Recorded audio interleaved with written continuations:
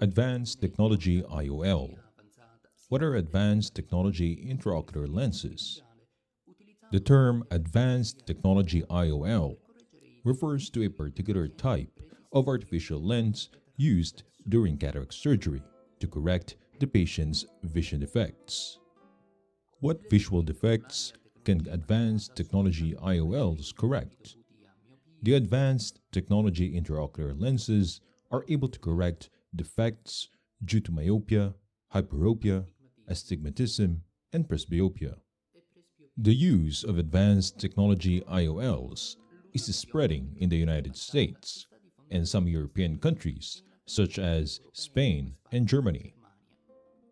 Most of these lenses are implanted only in patients who undergo surgery in a private setting, paying for the surgery itself or by assuming the cost of an insurance. In Italian hospitals that are part of the national health system, due to the lower cost reimbursements of the DRG, the adoption of advanced technologies useful for cataract surgery has stopped in the 2000s.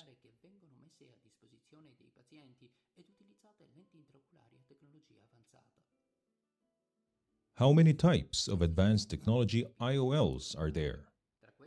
There are various types of intraocular lenses, including toric IOLs. These are monofocal, like standard IOLs, normally provided by the National Health System, but they correct astigmatism. We have multifocal and multifocal toric IOLs. These normally correct presbyopia. The toric version is also aimed at correcting astigmatism. Today, monofocal and monofocal toric intraocular lenses correct astigmatism, nearsightedness, and farsightedness, but do not have the ability to provide good near vision, such as for reading newspapers or using the computer. Astigmatism, very common in the population, is an annoying refractive defect because it confuses distance and near vision and forces the patient to have clear vision after cataract surgery to use glasses for both reading and distance. How much do advanced technology IOLs cost? The cost of advanced technology IOLs can reach up to 10 times that of those of standard IOLs, that is, those called single vision and normally provided by the National Health System in public hospitals. Standard monofocal IOLs correct either distance or near vision defect, but not both at the same time. Is the high-tech IOL the only one that is enough for a successful intervention?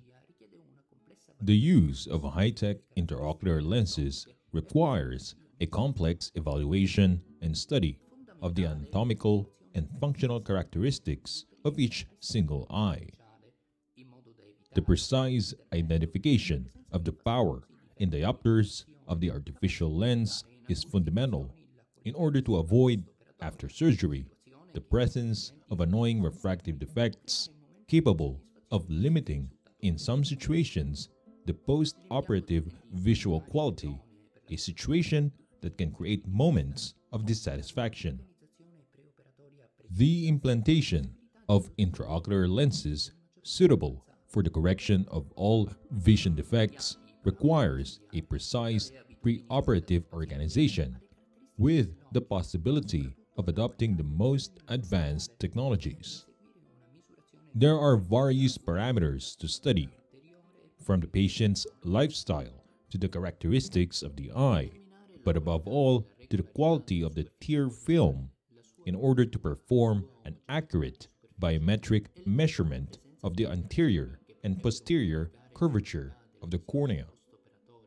Determining the quality and regularity of the corneal surface, its curvature, its surface homogeneity, and the possible presence of alterations that could modify the quality of the patient's post-operative vision are now necessary actions in order to obtain the best refractive results to the advantage of all patients.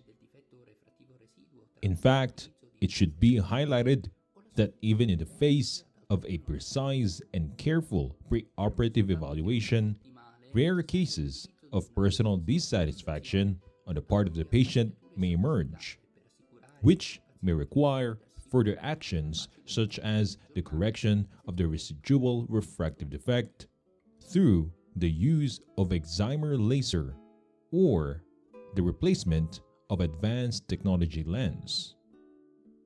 For an optimal surgical result, it is necessary to use a precise organization with sophisticated equipment to ensure patients safe driving and easy reading without having to resort to corrective glasses.